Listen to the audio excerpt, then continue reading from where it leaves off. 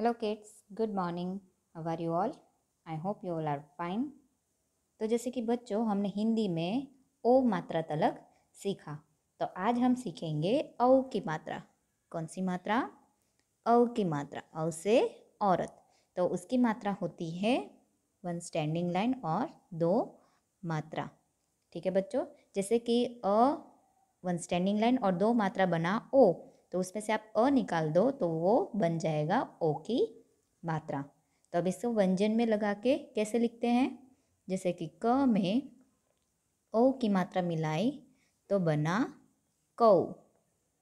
इसी तरह ख में अगर ओ की मात्रा मिलाओ तो बनेगा खौ।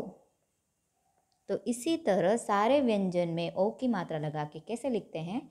आइए देखेंगे हम। तो बच्चों, आपकी हिंदी की नोटबुक में पेज नंबर थर्टी थ्री क्या दिया है यहाँ पे? ओ की मात्रा, यानी कि कौ से श्रव लिखिए।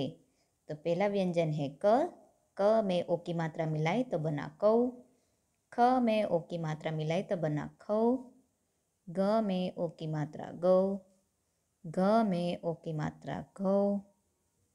तो जैसे कि बच्चों, मैंने यहाँ पे ओ की मात्रा व्यंजन में लगा के पूरा लिखा है। तो इसी तरह से आपको भी लिखना है पर one time and here two time now next page क्या दिया है दूसरा page on page number thirty four वर्ण के साथ मात्रा जोड़कर शब्द बनाइए।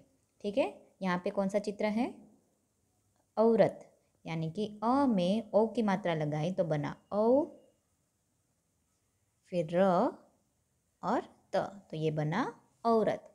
तो इसी तरह से बाकी सारे चित्र आपको देखने हैं और उसके शब्द बनाने हैं। ठीक है बच्चों? अभी नीचे है, औ मात्रा वाले अन्य शब्द। यहाँ पे आपको औ मात्रा वाले अन्य शब्द लिखने हैं तो आप कहाँ से लिखोगे? हाँ जैसे कि हर बार की तरह मैं आपको एक गद्य देती हूँ, अनुच्छेद देती हूँ और वो अनुच्छेद में से आपको औ की मात्रा ढूंढ के यहाँ पे लिखना है। तो बच्चों, यहाँ पे है, पहला शब्द है ग में दो मात्रा, गौ और र में ई की मात्रा री, यानी कि गौरी। वो एक लड़की का नाम है। तो यहाँ पे ओ की मात्रा है।